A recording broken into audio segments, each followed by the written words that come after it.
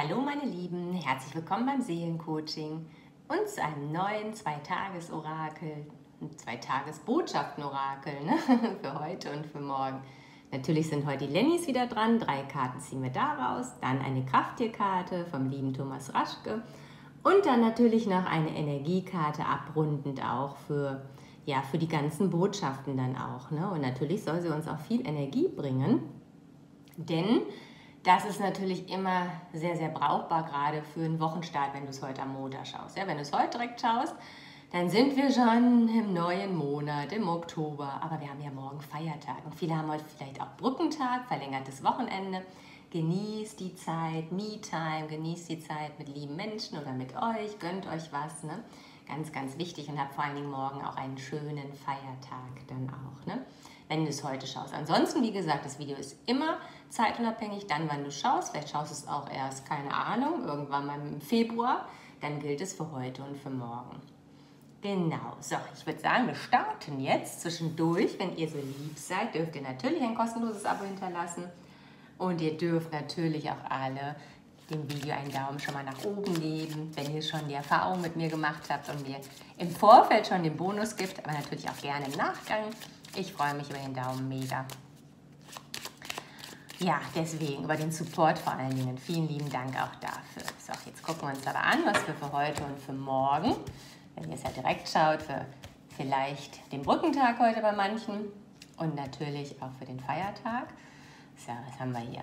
Eine Karte, zweite Karte, dritte Karte. So, da haben wir den Turm. Na, du wollt jetzt hier nicht hoch. Da haben wir den Schlüssel und das Schiff. Okay. Ja, zum einen mit Unternehmen. Vielleicht laufen Bewerbungen gerade ne, bei euch. Oder in der Selbstständigkeit es will, will man Fuß fassen. Oder endlich neue Aufträge generieren. Oder von Behörden erwartet man irgendwelche Zusagen, Bewilligungen, Gelder etc. Ja, hier ist der Sicherheitsschlüssel dran. Mit peu à peu geht es in Bewegung. Und das Schiff ist leider nicht das schnellste, kann sein, dass hier noch Klärungen anstehen, aber dann schaut halt. Ne? Kann sein, dass die Einladung noch ein bisschen sich zieht, aber ihr habt schon vielleicht positives Feedback von der, vom Vorstellungsgespräch oder ihr werdet zu einem Vorstellungsgespräch eingeladen, ne? was noch ein bisschen länger noch in der Zukunft ist. Manchmal, manche Unternehmen brauchen ja ein bisschen länger, bis sie alle ähm, Ansprechpartner dann zusammen terminiert haben. Ne? Das heißt nicht, dass man dann oftmals nächste Woche schon oder morgen einen Termin bekommt, sondern manchmal auch erst in drei, vier Wochen. Aber mit Sicherheit geht es jetzt vorwärts. Ne? Und das finde ich gut, auch bei Aufträgen, bei Behörden, Geschichten etc., ne? auch bei den Selbstständigen.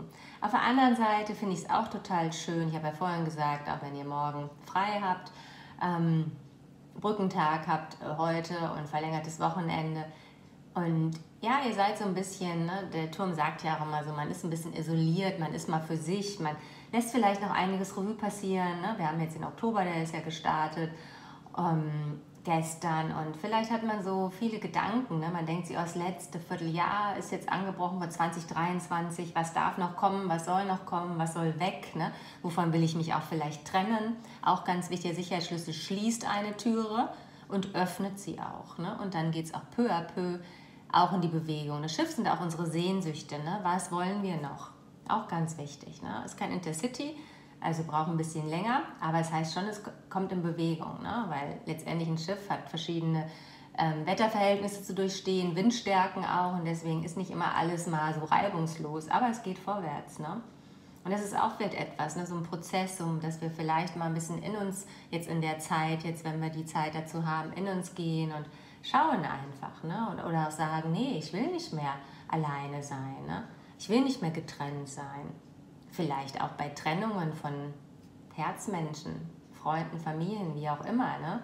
Wo man sagt, na, ich mache jetzt doch einen Schritt auf ihn oder sie zu. Ne? Also zu, wisst ihr, mag ich nicht, vielleicht hin. Ne? Sagen wir mal so, mache einen Schritt nach vorne hin und öffne mich. Und ähm, mit Sicherheit öffnet sich dann auch eine neue Türe. Oftmals nicht von jetzt auf gleich, wenn da Themen da waren, die bearbeitet werden, ja, sollen, müssen, dürfen. Ne? Da muss man nochmal hinschauen, dann geht es peu à peu.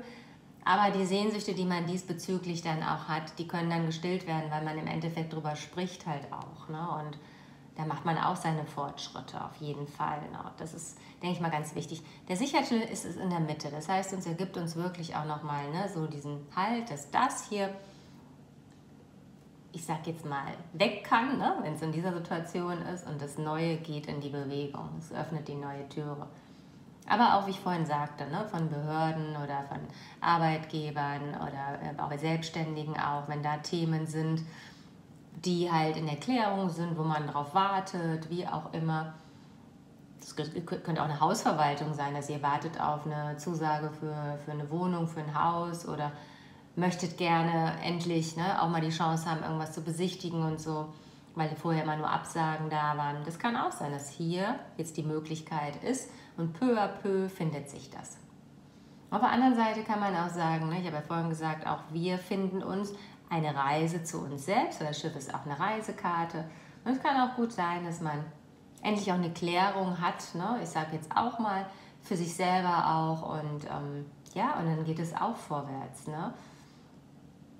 Und noch eine Möglichkeit wäre auch, dass man auch sagt, okay, jetzt, ich mache den Schritt jetzt nach vorne.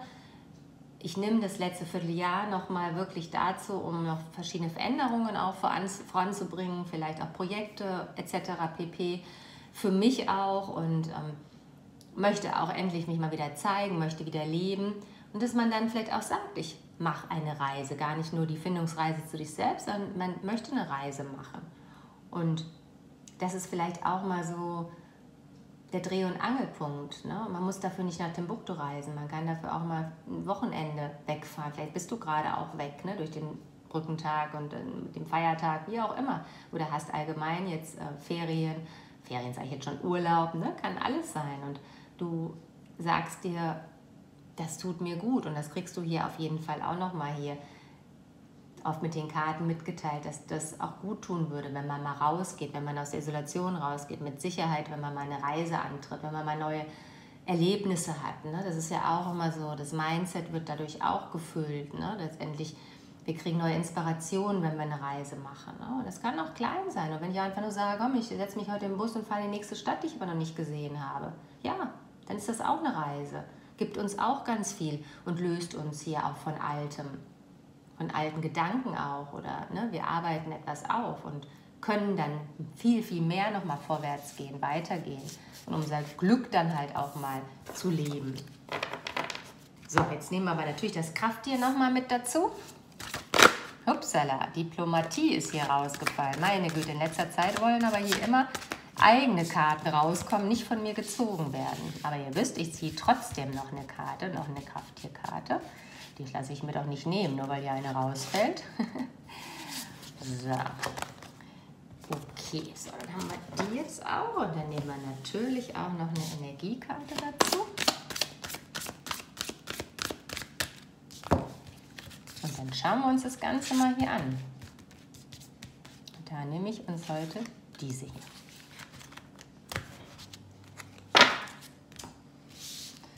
So, dann wir hier mal alles wieder ordentlich machen, hier mit so vielen Karten. So, da haben wir einmal hier die Diplomatie, den Leoparden und schaut mal, was für eine Zahl da ist. Warum wollte wohl diese Karte noch mit raus? Die 33, der Sicherheitsschlüssel, hier nochmal. Diplomatisch drangehen, finde ich klasse hier mit dem Leoparden. Ne? Wie gesagt, zweimal haben wir den Sicherheitsschlüssel. Also hier kann alles, egal, ich habe so viele Themen vorhin gesagt, alles, was ich gesagt habe, ne?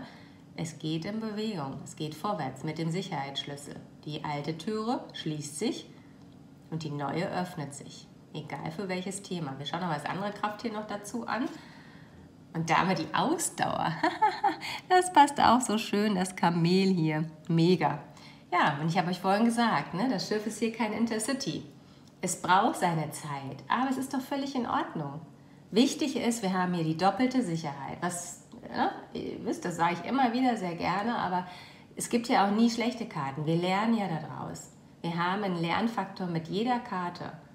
Und das ist total klasse und das gibt uns auch Unterstützung und auch Hilfestellung, definitiv, wenn wir uns darauf auch einlassen. So, und wir haben die Diplomatie, das heißt, wir können hier alles angehen, alle Vorhaben, alle Möglichkeiten, auch mit uns, aber auch im Außen, was ich euch die, vorhin gesagt habe, was es für Möglichkeiten hier gibt. Ein bisschen Ausdauer, aber das Schiff zeigt an, es geht vorwärts. Es öffnet die neue Türe. Zu wen, was und auch ne, zu welchem Thema und zu dir selbst, was auch immer da sein soll bei dir. Geh da sachte dran, mit Diplomatie, mit Sachverstand läuft alles. Schauen wir uns mal die Energiekarte noch parallel an. Der Neid, meine Güte, was ist denn das jetzt hier? Da schauen wir uns aber im Detail jetzt mal an. Ich bin wie alle anderen, nur bin ich vor meinen eigenen Herausforderungen gestellt. Ja, manchmal, also ich mag diese Karten so, so gerne, ne? aber ich lasse mich immer wieder hier ins, ins Boxhorn jagen mit dem ersten Schlagwort, mit Neid. Ne? Ich bin wie alle anderen, nur bin ich vor meinen eigenen Herausforderungen gestellt. Ja, ich nehme das Wort Neid jetzt ein bisschen weg. Für mich heißt es hier, was ich vorhin auch sagte, ne?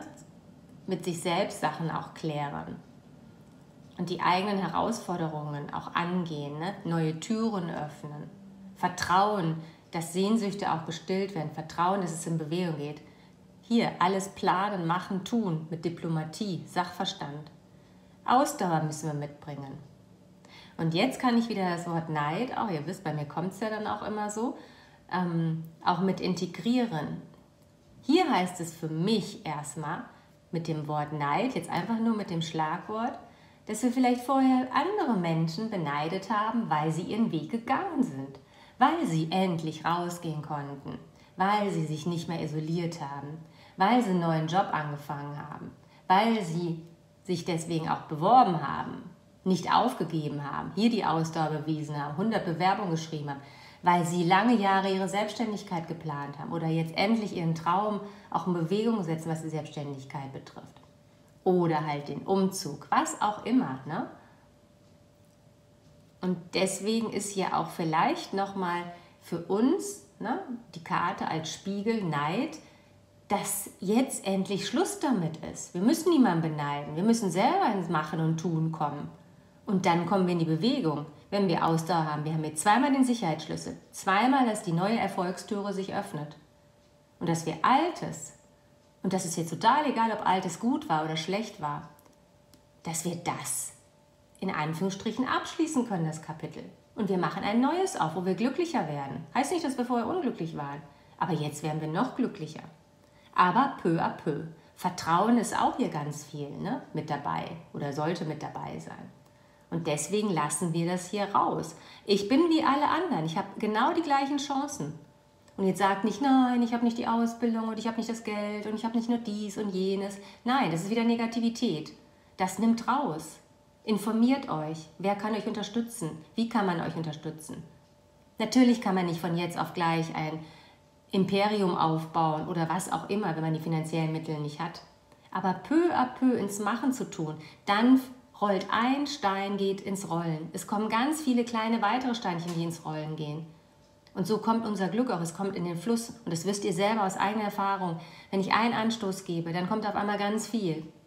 Aber wenn ich immer ne, im Stillstand bin, in der Stagnation, dann kann ja auch nichts kommen. Wo soll denn eine Veränderung kommen? Wo soll dann weiter was fließen? Ne? Und deswegen, ich bin wie alle anderen, ich habe die Möglichkeit. Nur bin ich vor meinen eigenen Herausforderungen gestellt. Genau, und das ist der springende Punkt. Bei mir geht es halt peu à peu, bei mir geht es vielleicht langsamer. Ich habe andere Kompetenzen, ich habe anderes Know-how, ich habe andere Möglichkeiten, finanzielle Möglichkeiten, anderes Mindset, andere Glaubenssätze, die mich auch noch belasten, vielleicht auch stoppen. Ist so. Wenn es einem bewusst wird, dann weiß ich aber, dass ich peu à peu trotzdem meine Sachen machen kann. Und ihr werdet sehen, ihr werdet immer dafür belohnt, wenn ihr in die Veränderung geht, wenn ihr vorwärts geht, wenn ihr weitermacht. Nicht aufgeben, aufstehen, Krone richten, weitergehen. Immer. Natürlich gibt es immer einen Prozess, wo man auch mal in sich geht und mal traurig ist. Aber dann bitte weitermachen. Hier. Doppelten Sicherheitsschlüssel haben wir hier. Ihr Lieben. Falls ihr einen Brückentag habt, wünsche ich euch einen zauberhaften Brückentag. Und natürlich morgen auch einen ganz tollen Feiertag. Es gibt natürlich ganz, ganz viele Menschen, die morgen am Feiertag auch arbeiten. Für euch danke ich auch, also wenn ich jetzt von Deutschland aus spreche, euch danke ich auch, dass ihr morgen auch arbeitet. Dafür habt ihr mit Sicherheit einen anderen Tag frei so ist nun mal ne, die Aufteilung, genauso wie bei mir auch bei den Selbstständigen, die dann auch mal sieben Tage arbeiten, aber sich dafür dann auch mal einen anderen Tag in der Woche, wenn sie was Schönes vorhaben, sich auch mal frei nehmen können. Das ist alles so eine Rota ähm, Rotation. Ne? Jeder plant das auch für sich und macht das auch. Und ich denke mal, da kann jeder seinen Kompromiss auch mitmachen. Und irgendwann mal gibt es auch wieder Me-Time bei euch. So, dicken, dicken Megadrücker. Danke, dass ihr hier seid. Ich freue mich über den Daumen hoch natürlich sehr. Auch über private Buchungen und kostenloses Abo natürlich auch. Und dann hoffe ich, sehen wir uns beim nächsten Orakel hier wieder ganz bald. Ne? Bis dann. Tschüss.